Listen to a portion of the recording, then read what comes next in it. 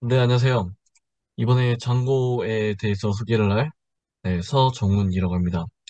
여러분께 소개해드릴 장고를 소개해드릴 건 장고고요. 해당 장고가 무엇인지 또한 장고를 이용한 사용자 응답을 받아서 데이터베이스에 저장하는 이 폰 기능에 대해서 소개를 해드리려고 합니다. 네, 해당 시연은 윈도우로 진행을 하였습니다. 어, 먼저 장고에 설명하기에 앞서서 웹 framework란 무엇인지에 대해서 설명하도록 하겠습니다. 웹 framework란 쉽게 말해서 쉽고 빠르게 웹 사이트를 개발할 수 있도록 돕는 구성 요소들로 이루어진 프로그램들을 의미합니다.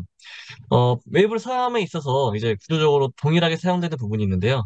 대표적으로 회원가입, 로그인, 로그아웃과 같이 사용자 인증을 다루는 방법이나 또는 이제 웹사이트의 관리자 패널 또는 이제 form이나 파일 업로드 기능 뭐 또는 사용자 입력을 받아서 출력하는 기능 이런 다양한 기능들을 네, 굉장히 라이브러리로 쉽게 제공을 해줍니다. 해당 웹 framework의 종류에는 많은 사람들이 이제 frontend로 쓰고 있는 React나 그다음에 Spring Boot 등이 있을 수가 있습니다. 뭐 그 외에도 Bootstrap 또는 이제 Express 같은 여러 가지 framework들이 있고요. 네, 저는 이 다양한 framework들 중에서 Python 기반의 강력한 framework라고 불리는 Django라는 framework에 대해 설명을 하고 네, Django의 form 기능에 대해서 잠깐 다뤄볼 예정입니다. 네, 본격적으로 Django에 대해서 설명을 하겠습니다.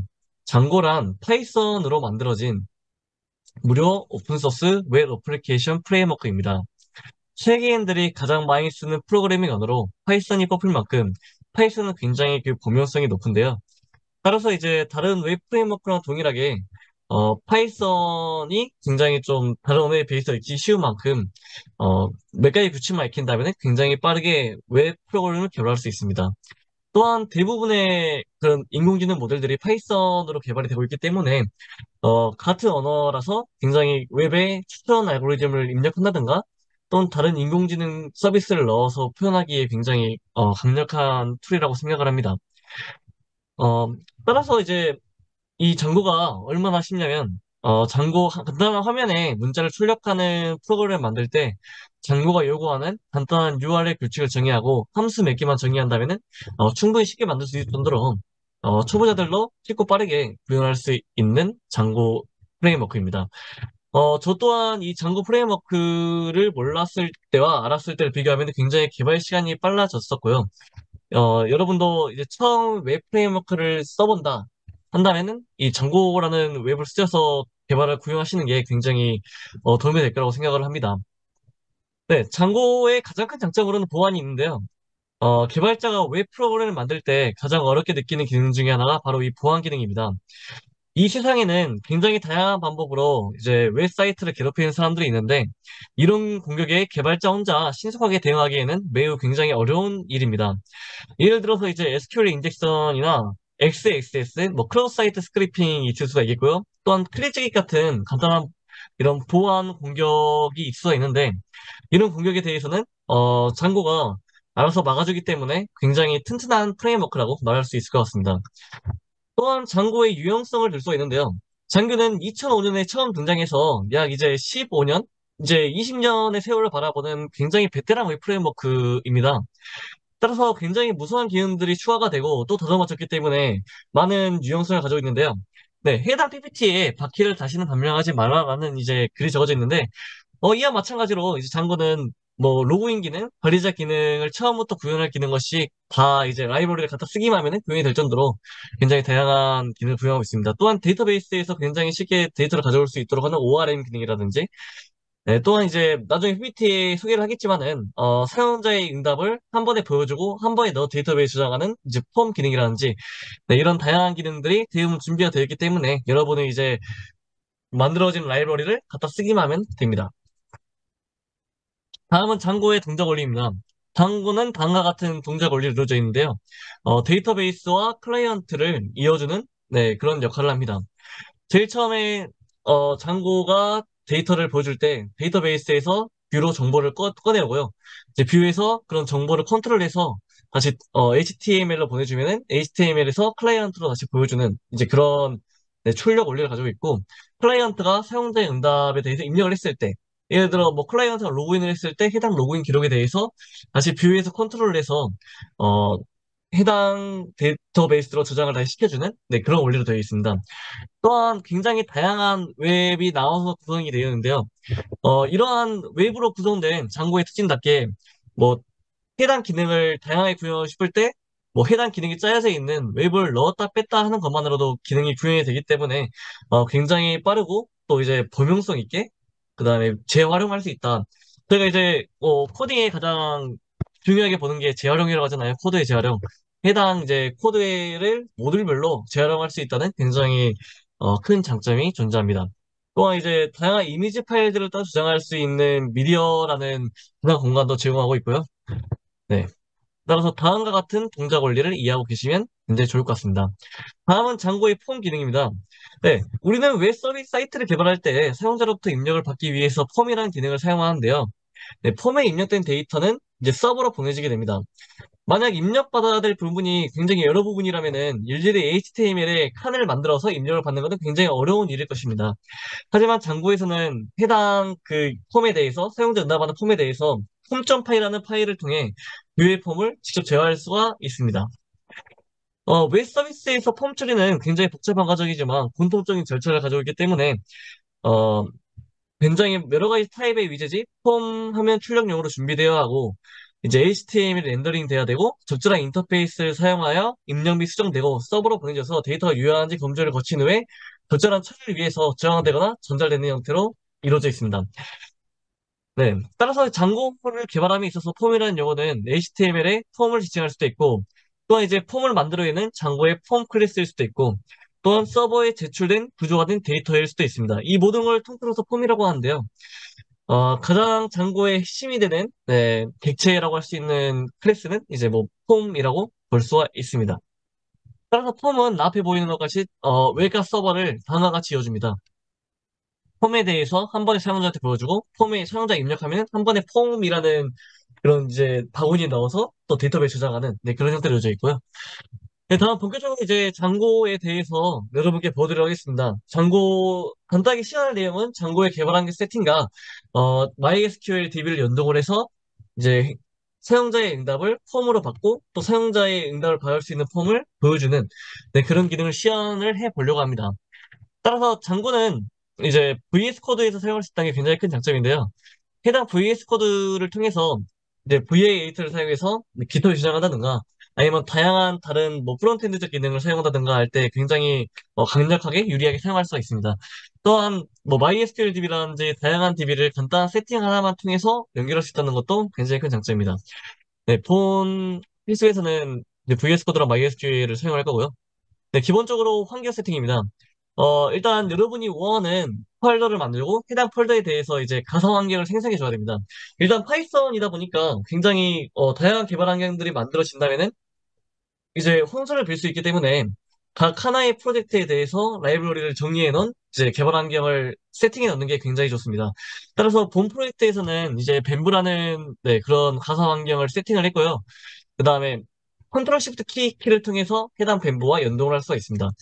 어, 이건 이제 Django로 프로젝트를 진행한 하나의 이제 제 코드인데요.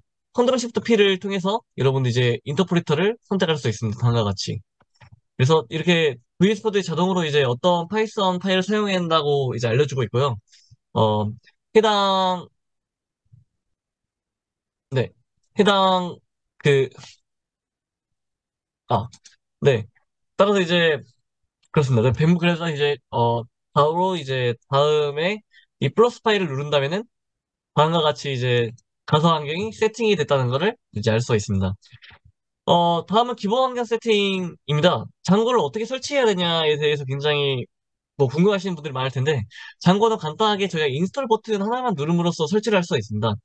따라서 Django라는 폴더를 파이썬 저희가 이제 파이썬을 다뤄본 사람은 알겠지만은 파이썬의 여러 가지 패키지를 설치, 설치할 때처럼 마찬가지로 이제 어, PIP 인스톨을 통해서 설치를 하는데요. 그래서 PIP 인스톨 장고를 통해서 Django라는 웹 프레임워크를 설치할 수가 있습니다. 또한 해당 Django 웹 프레임워크에 대해서 django admin.py startproject를 적어준 다음에 어, 원하시는 프로젝트 이름을 설정을 하면은 다음과 같이 이제 프로젝트가 나오는 걸 알 수가 있습니다. 네, mysite란 프로젝트를 만들어줬고요. mysite 프로젝트 내에는 setting.py, url.py가 존재하고 있습니다. 어, setting.py에서는 다양한 저희가 기능들을 정해줄 수가 있고, 어, 해당 프로그램의 언어라든지, 또는 이제 어떤 데이터베이스를 연동할 건지, 또는 이제 어느, 네, 어, 네. 어느 앱을 사용할 건지도 다 이제 세팅해서 관리를 해주게 됩니다. 그 다음으로 python manage.py runserver를 통해서 서버를 본격적으로 가동을 시키는데요. 제일 처음에 서버를 작동한다면은 다음과 같은 서버 화면이 나오게 되어 있습니다. 어, 그래서 다음과 같이 저희가 이제 서버 화면이 어, worked successfully라고 뜨면은 여러분은 이제 Django를 개발할 준비가 되신 겁니다. 네, 다음으로는 개발 환경 세팅 MySQL 연동인데요. 어, 미리 개발해놓은 코드를 가지고 설명해 드리도록 하겠습니다. 저희 mysite라는 이제 그런 개발 환경 세팅, 프로젝트를 설정했기 때문에 mysite setting.py 안에서는 네, 다음과 같이 이제 저희가 어떤 앱을 사용해서 개발을 했는지를 정의할 수가 있고요. 앱을 넣었다 뺐다 할 수 있기 때문에 해당 앱을 필수적으로 설정을 해줘야 됩니다. 그래서 네, 해당 앱들을 설정할 수가 있고 또한 이제 템플릿을 뭘 쓸 건지 그 다음에 본격적으로 이제 SQL은 여기서 연동되게 되는데요. 제가 데이터베이스에 대해서 데이터베이스 쓸 그다음에 이름과 그다음에 내 MySQL 데이터베이스에 연동된 root host를 이제 입력을 해주면은 비밀번호를 입력을 해주면은 네, 다 자동으로 이제 데이터베이스와 연동이 됩니다. 네, 다음으로는 다음과 같이 이제 static 파일과 연동을 해서 이제 CSS를 사용할 수도 있고요. 다음과 같이 이제 미디어 폴더로 연동을 해서 사진을 저장하고 사진을 다시 저장, 사진을 다시 출력하는 네, 이제 그런 것도 진행할 수가 있습니다. 다음과 같이 이제 이루어져 있고요. 그래서 데이터베이스를 다양하게 설정한 다음에 저희가 이제 python manage.py migrate를 통해서 어, 기본적으로 Django에서 이제 연동을 시켜주는 다양한 이제 데이터베이스들이 설치가 되게 되어 있습니다. 해당 데이터베이스들은 이제 뭐 로그인을 할 때 사용되는 데이터베이스가 기본적으로 설정이 되게 되어 있고요. 네, 다음과 같이 여러 가지 다양한 데이터베이스가 깔리는 걸 확인할 수 있습니다. 어, 다음으로는 앱 생성입니다. Python, 네, Django가 말씀드렸다시피 앱을 기반으로 이제 작성이 되기 때문에 어떤 앱을 사용하는지를 네, 이제 설정을 해줘야 됩니다. 어, 일단 저는 python manage.py startapp이라는 걸 통해서 앱을 생성할 수 있고요. 저는 이제 블로그라는 앱을 생성을 해서 다음과 같이 블로그를 넣어줬습니다.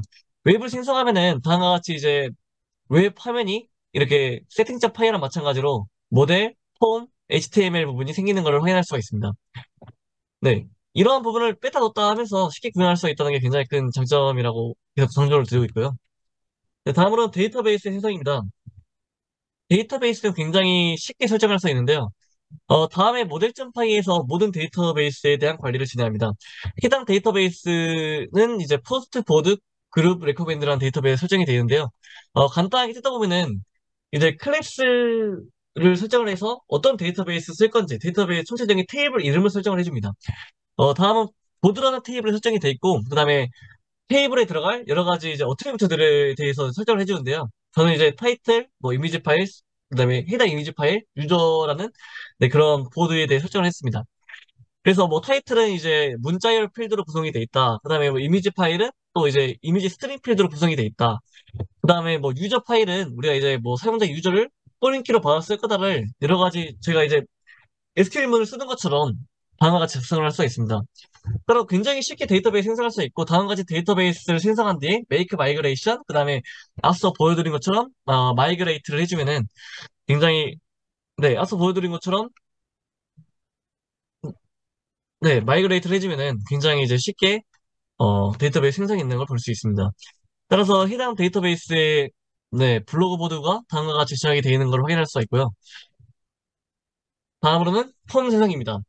네, 폼이 사용자의 응답을 받고 그다음 사용자 응답을 보여주는 게 굉장히 특화된 이제 그런 거라 설명을 했는데 설정하는 방법은 굉장히 간단합니다. 먼저 이제 저희가 데이터베이스 생성을 했기 때문에 데이터베이스에 어떤 데이터베이스 쓸 건지 불러와야 돼요. 그래서 앞에서 먼저 이제 from model import를 통해서 폼에 대해서 불러오게 됩니다. 따라서 해당 파일에 model import가 이제 해당 모델 있는 해당 생성된 데이터베이스를 전부 가져와 쓰겠다라는 뜻이고요. 그 다음에 다음과 같이 클래스에 대해서 자기가 원하는 폼의 이름을 설정을 해주고 해당 폼은 이제 ModelForm이라는 설정된 라이브러리를 받게 됩니다. 그 다음에 Meta 클래스라는 걸 상속받게 되는데 해당 Meta 클래스는 반드시 적어줘야 되고 해당 Meta 클래스 상속받아서 이제 어떤 데이터베이스에 어떤 부분을 보여줄 건지를 다음과 같이 폼으로 설정할 수 있습니다. 저는 이제 앞서 모델에서 설정했던 것처럼 해당 Board라는 모델에 대해서 타이틀과 이미지 파일, solid 이미지 파일에 대해서 필드 설정을 하고 이를 보여줄 예정입니다. 어, 다음 같은 폼을 사용하는 방법은 굉장히 간단합니다. 어, 앞서 보여드린 것처럼 똑같이 이제 데이터베이스랑 생성한 폼에 대해서 이제 view 쪽에 쓸 수 있도록 이제 from import를 진행해 주고요. 그래서 이제 views.py에서 다음과 같이 이제 from import가 된 거를 볼 수 있습니다. 그 다음에 해당 파일과 똑같이 이제 본, 아, 보드 폼에 대해 생성을 하고 해당 보드를 이제 context라는 이제 그런 바구니 속에 넣어서 HTML로 보내주기만 하면 됩니다. 네, URL 부분은 다음과 같이 설정할 수 있고요. 어, 해당 URL이 설정이 된 다음에 어, 설정한 URL 부분으로 어, 옮겨줄 수가 있습니다. 저는 이제 보드 HTML 부분으로 context를 옮겨줬고요. 어, 해당 보드 폼이 옮겨지게 되면은 다음과 같이 이제 Bootstrap, 저희 이제 다음과 같이 폼을 쓰겠다. 그래서 Bootstrap 폼이란 파일에 보드 폼이란 걸 추가를 해서 다음과 같이 폼을 쓸 수가 있게 됩니다. 어, 따라서 이제 보드 폼을 설정하게 되면은 다음과 같이 이제 되어 있는 게 있는데, 어, 이렇게 보여주는 것과 같이 타이틀, 이미지 파일, solid 파일이 한 번에 딱딱딱 보여지게 됩니다. 그래서 보통 HTML에서 원래 이걸 생성을 하려면은 굉장히 복잡한 구조로 생성이 됩니다. 그래서 다음과 같이 일일이 이제 뭐 번호, 제목, 솔루션, 이미지를 입력해 줘야 되는데 네, 다음과 같이 한 번에 어, 타이틀, 이미지 파일, solid 파일을 폼을 통해 입력을 할 수 있다라는 게 굉장히 큰 장점인 것 같고요.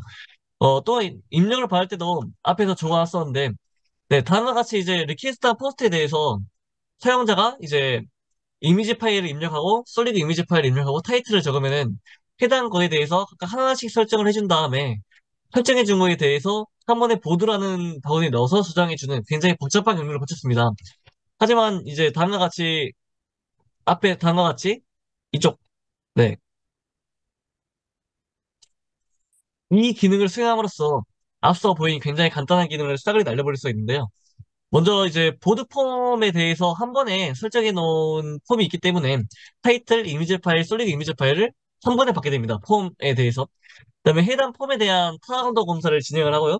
해당 유효성이 성립이 되면은 바로 이제 form.save라는 파일을 통해서 앞서 폼에서 설정된 모델이라 보드라는 이제 데이터베이스에 한 번에 이제 저장이 되게 됩니다. 네. 저희 이제 장고에 대한 소개는 여기까지고요. 네, 여러분들 모두 장고라는 소프트웨어 framework를 통해서 open source framework를 통해서 네, 굉장히 쉽고 빠르고 어, 행복한 웹 개발 됐으면 좋겠습니다. 네, 이상 어, open source 소프트웨어 입문 서정훈이었습니다. 네, 감사합니다.